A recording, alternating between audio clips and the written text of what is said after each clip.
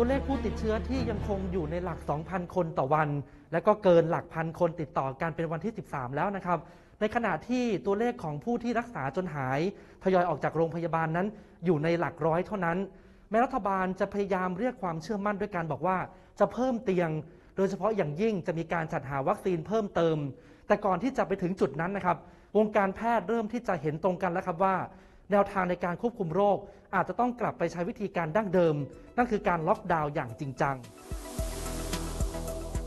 ข้อมูลณวันที่ 25 เมษายน 2564 มีผู้ติดเชื้อโควิด -19 ครองเตียงไปแล้ว 24,207 เตียง เหลือเตียงว่าง 16,317 เตียง ถ้าอัตราการติดเชื้อยังคงอยู่ที่ 1-2,000 คนต่อวัน คาดการว่าเตียงจะเต็มในอีก 9 วัน นายแพทย์เฉลิมชัยบุญญาลีพันธ์ รองประธานกรรมธิการการสาธารณสุข วุฒิสภา ฉายภาพไปเห็นวิกฤตของระบบสาธารณสุข และเสนอว่ารัฐควรตัดสินใจยกระดับมาตรการควบคุมโรคทันทีก่อนหน้านั้นนายแพทย์นิธิพัฒน์เจียนสกุล นายกสมาคมอุรเวชแห่งประเทศไทย และพลอากาศโทอนุตรจิตินัน ประธานราชวิทยาลัยอายุรแพทย์แห่งประเทศไทย เห็นตรงกันและคาดการว่า ระบาดรอบนี้อาจเอาไม่อยู่ ขณะที่นายกรัฐมนตรียืนยันยังไม่ใช้มาตรการล็อกดาวน์แต่ไม่ปิดทางพื้นที่ประกาศเคอร์ฟิวไม่มีการเคอร์ฟิวไม่ยังไม่ล็อกดาวน์ผมไม่อยากจะปิดอะไรทั้งสิ้นนั่นแหละปิดแล้วมันง่ายนิดเดียวแหละ แต่คนเดือดร้อนเป็นใครบ้างล่ะ ปฏิเสธไม่ได้ว่าการระบาดรอบแรกเมื่อปี 2563 มาตรการล็อกดาวน์และเคอร์ฟิวทำให้จำนวนผู้ติดเชื้อลดลงจนกลายเป็นศูนย์ แต่ก็ต้องมาพร้อมกับมาตรการเยียวยา และการกู้เงิน 1 ล้านล้านบาท นักเศรษฐศาสตร์มองว่าการระบาดรอบนี้อาจต้องทำเช่นเดียวกัน และต้องมาพร้อมกับมาตรการเยียวยา ตัวเลขการระบาดเริ่มเพิ่ม แล้วผมเข้าใจว่าต่อไปเนี่ยตัวเลขตัวเลขการตายเนี่ยก็ก็จะเพิ่มขึ้นนะครับเออผมก็คิดว่าคนจำนวนหนึ่งเนี่ยเราเริ่มมีการล็อกดาวน์แบบสมัครใจ ล็อกดาวน์ตัวเองกันอยู่บ้างเหมือนกันนะครับ ซึ่งซึ่งซึ่งผมก็คิดว่าผมก็ หวังว่านะฮะอันนี้เนี่ยจะก็จะช่วยให้เราดีขึ้นส่วนหนึ่งในในช่วงที่รัฐบาลเอง ไม่ได้มีมาตรการที่ที่แรงขึ้น ถ้ามันเจอหลายๆระลอกแบบนี้แล้วมันใหญ่ขึ้นนะฮะเอิ่มอาจจะหมายถึงว่ารูปแบบของความช่วยเหลือจะต้องเปลี่ยนไปด้วย อาจจะไม่ใช่ช่วยกันแบบไปเดี๋ยวประดาวชั่วครั้งชั่วคราวผมนะฮะผมเห็นข้อเสนอของที่ DRI เนี่ยให้รัฐบาลกู้เพิ่ม อันนี้อาจารย์มองว่าบางคนก็เป็นห่วงว่ากู้เพิ่มแล้วตอนนี้มันจะเต็มเพดานอยู่แล้วอะครับ แต่ว่ามันยังยังสามารถที่จะกู้เงินเพิ่มได้ คือถ้าเกิดว่าต้องใช้เงินเอ่อในการเยียวยามากนะฮะมากจนกระทั่งเกินกว่างบประมาณที่มีอยู่ ซึ่งซึ่งอย่าลืมว่างบประมาณก็ใกล้หมดแล้วงบประมาณปี 65 ก็ตั้งไว้ต่ำกว่าปีที่แล้วนะครับเพราะฉะนั้นเนี่ยถ้าเกิดติดข้อจำกัดตรงนั้นก็อาจจะต้องกู้เพิ่มส่วนจะกู้เพิ่มเท่าไหร่จะถึง 2 ล้านล้านหรือไม่ผมว่าขึ้นกับสถานการณ์ครับ กลุ่มนักระบาดวิทยาประเมินว่าการระบาดระลอกนี้อาจต้องใช้เวลาราว 2 เดือน จึงจะคลี่คลาย แต่อยู่บนเงื่อนไขถ้ามีการล็อกดาวน์ไม่เช่นนั้น ไทยอาจเกิดภาวะล่มสลาย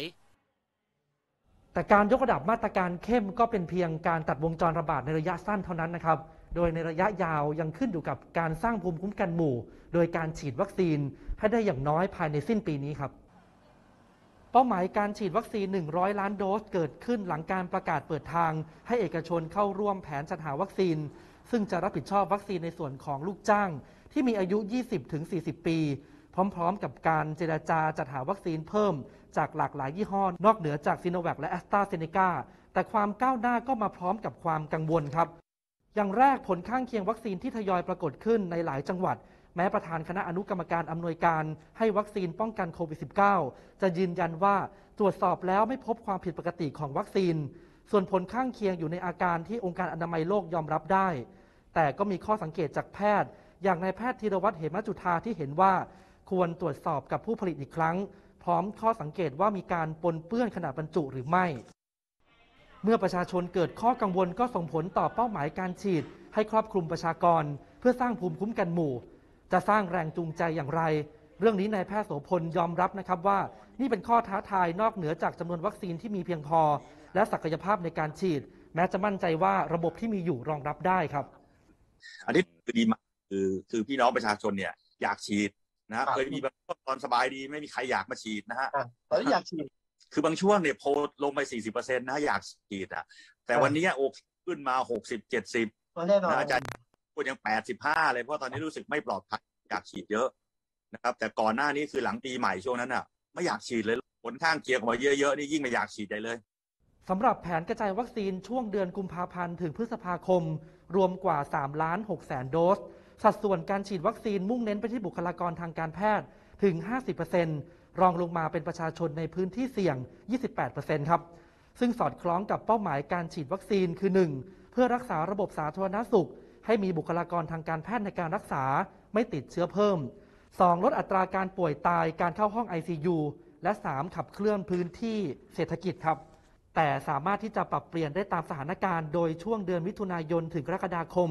ตั้งเป้าวัคซีนแอสตราเซเนกาที่ผลิตในไทยรวม 16 ล้านโดส จะฉีดให้กลุ่มผู้สูงอายุ ขณะเดียวกันก็มองไปที่กลุ่มเป้าหมายเฉพาะ เช่นครู พ่อค้าแม่ค้าในตลาดสด และกลุ่มพื้นที่เฉพาะ เพื่อให้สอดรับกับนโยบายวัคซีนพาสปอร์ต ที่ตั้งเป้าจะเปิดประเทศ 1 ตุลาคมนี้ แต่อาจพิจารณาเป็นจังหวัดที่ได้รับวัคซีนเกิน 70%ครับ